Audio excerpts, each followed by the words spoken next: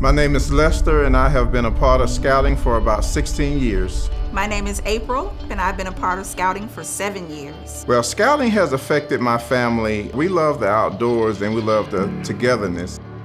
We also truly enjoy teaching the boys how to respect others, learning how to deal with each other, learning how to overcome adversity while they're out in the woods, and sometimes overcoming their fears. Um, it makes a difference when they learn these things early on and they know how to deal with the circumstances that come later in life.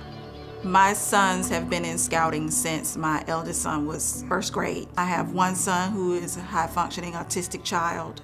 So my son has also, by having friends, and he's gained a lot of acceptance. They don't judge him.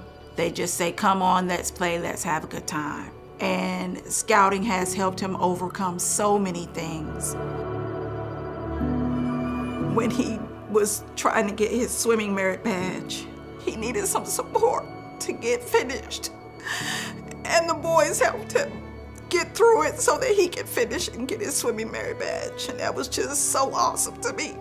I appreciate when people support my children and show them love even when I'm there and when I'm not there. That's what the scouting program does. It, you have a whole family of people who love and support your children and they work together to make sure that everybody is successful.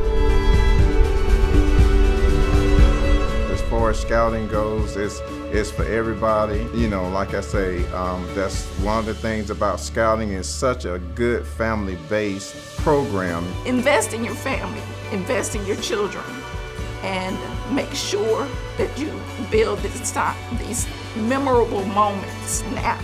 Please invest and do it through scouting.